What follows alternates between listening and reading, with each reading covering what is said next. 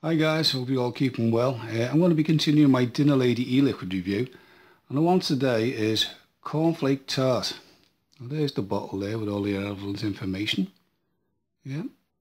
And as with all their bottles, child safety tops, it's a drip a pipette type thing to show you. Yeah. And this is 70 VG 30 PG 3 milligram nicotine.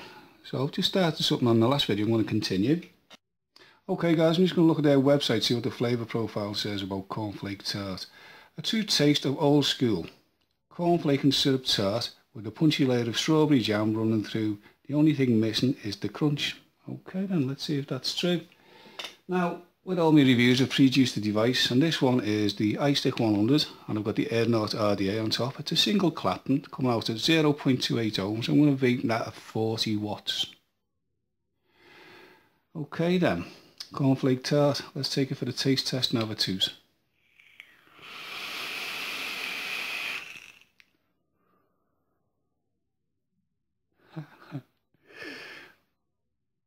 that is such a good cereal dessert, honest to God. That is the most authentic cereal dessert I have ever had in my life. Dinner ladies, by the way, thanks again for sending these liquids over for review. Really enjoying them.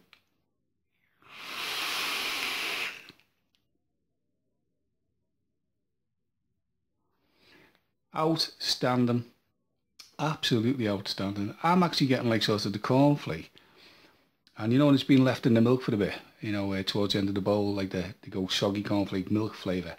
And that jam is there you know and uh, the, the syrup is definitely there as well.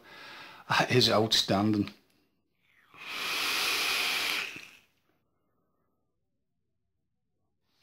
And look at that bags of clouds.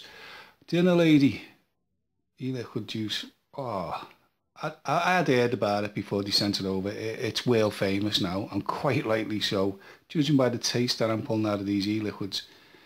Dinner lady, you deserve all the accolades you've been getting. Fantastic, absolutely fantastic.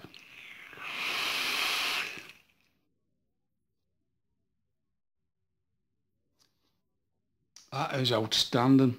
That's going to be gone in no time, that one. Absolutely gone in no time. And don't forget all the information regarding this is on the sideboard there, yeah? So listen, if you've had Dinner Lady e-liquids, this one or any other ones, leave your comments down below. Come and share the knowledge, you know. And don't forget to click on the subscribe button. Come and join me. You're more than welcome, you know. And um, I'm going to have a tooth and a final taste test. And I'm going to love yous and leave yous. But don't forget, guys, videos above me head, the old ones if you haven't seen them, and a subscribe button there.